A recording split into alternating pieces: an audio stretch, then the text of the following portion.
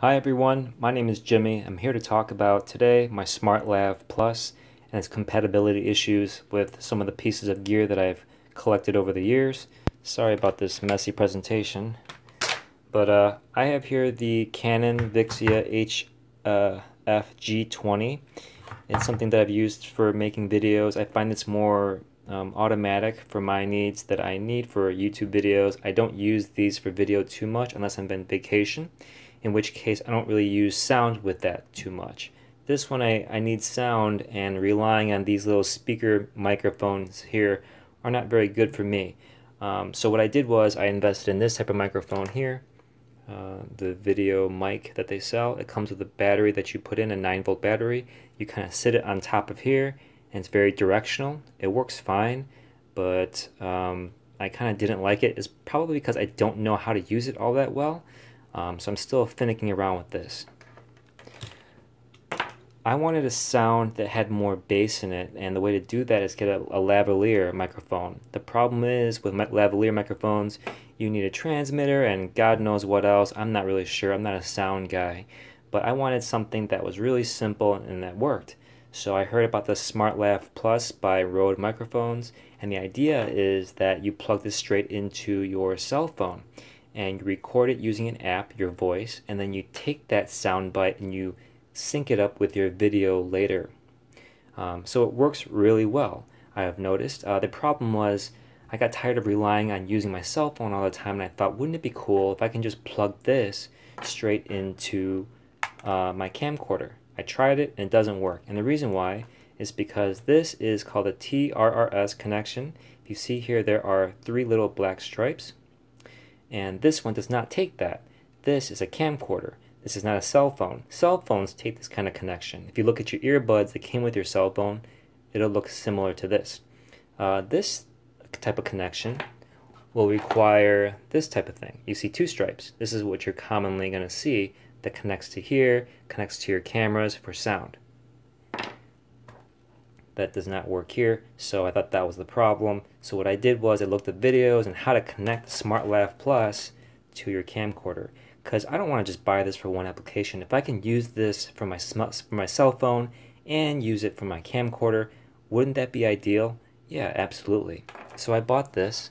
This is the SC3 by Rode Microphones and this is what comes inside. This thing was $15, crazy expensive. As a matter of fact, while I'm still talking about it, the SmartLav Plus was also very expensive. I, I, think I paid a lot for it. It's pretty flimsy, and uh, honestly, the while the quality might be okay in my opinion, the distance they give you is not very long. So you will need an extension for this. Um, none of that's included, obviously, and it's part of the price when you buy something like this. So uh, here's where I'm going to get into it. I bought the SmartLav Plus a while back. This works great with my cell phone, even with an extension. I bought this adapter for 15 bucks. You plug this into here, that takes the TRRS configuration and converts it to the two-stripe configuration, something that the camcorders and cameras can understand for sound, right? So that's the idea. I plug this in like all the other YouTube videos show you how to do, and still no sound. Very frustrating after waiting to get this thing and paying 15 bucks for it, it doesn't work. Why doesn't it work? Well, I found out camcorders and cameras uh, for this to work needs to provide output power. And this camcorder, as nice as I think it is, does not provide output power. Surprise, surprise. And many cameras and stuff do not uh, talk about this when you buy it. I had no idea even what it was. But I, I was aware that when you plug in something, let's say into an amplifier or into a cell phone, for example, for this to work, it needs to be provided power from your cell phone, right? So that makes sense. I just didn't think that something like this would not have output power. So that's why, even with the right connection and the right adapter here, it does not work. Sound does not work on this thing. So that kind of sucks. How can I get sound then? Well, I'll just keep having to use this if I want better sound. Perhaps mount it off camera and closer to me by using an extension, which I'll get into later. Now, do I have to return this? Do I have any use for this whatsoever? Yeah, I guess there is a use. I don't really use these for sound at all uh, when recording video. I just kind of make eye candy. It's what I do. I want to provide sound with it. I'll just go ahead and use this adapter.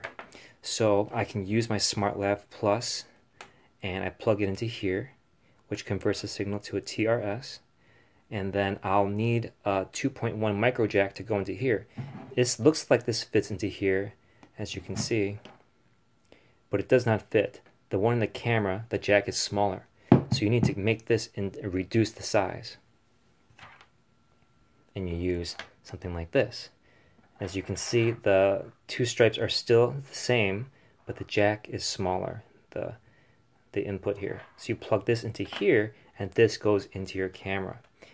I've tried this, and the microphone works. The SmartLav Plus, which is originally designed for your cell phone, thanks to this adapter here, and thanks to the output power, now the SmartLav Plus works.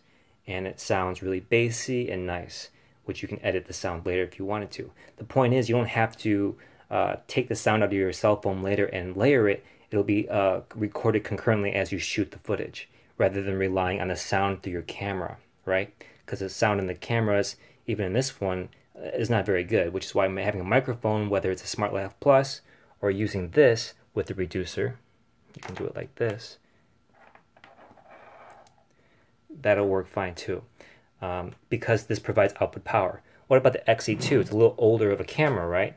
Well, I've tested this. This also works with uh, this, which has its own power. That's not an issue. But it also works with the SmartLav Plus, which requires output power. This one uh, provides output power as well. So cell phones provide it. These cameras provide, provide it. Check if your camera or camcorder has it or not. If not, you might need a workaround and just deal with it like me. This one does not have it, which kind of sucks. Um, what else can I say about this? I will need an extension. I want to say one thing about this. This here is a six foot extension cable. As you can see, um, it's just uh, a female to a male and it's six feet long. It goes from there to this. But you'll see here that um, this is a TRRS. So I can plug this straight into a cell phone and it'll work just fine. Okay, the SmartLav Plus into this because my cell phone responds to the three stripes here. But I've noticed I can plug in this type of connection, this microphone, which is a TRS, two stripes, use this extension cable, which is a TRRS, into um, a camcorder, and it will still work fine.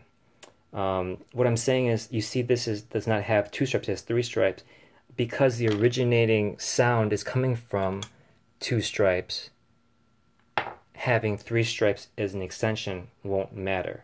This works, okay? Uh, the problem comes from using the SmartLav Plus. Man, what a mess here. SmartLav Plus, which has originally three stripes, um, without the converter, it will not work if you go straight into, let's say, uh, one of these cameras here. Um, you need to convert that first, and then it goes here.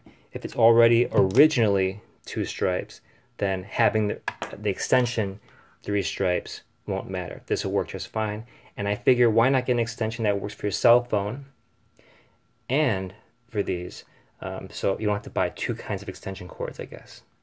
It works so well that I bought another pack of extension cords. This is 25 feet long, so I can use this off camera closer to me if I want to do some long distance shots in the future or I can use the extension cord for a lavalier and these cameras as I demonstrated earlier with a bunch of connections. I hope this makes sense.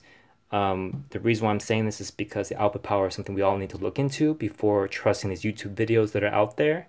And hopefully you can avoid the mistakes that I've made. If you have any other workarounds that are cheap and good quality, please leave comments below and give me a thumbs up for the effort. I really appreciate it. Talk to you guys soon. Bye-bye.